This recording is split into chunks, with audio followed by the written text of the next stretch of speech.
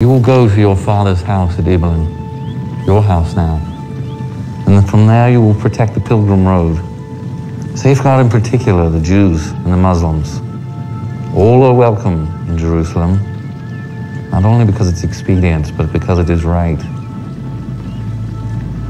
Protect the helpless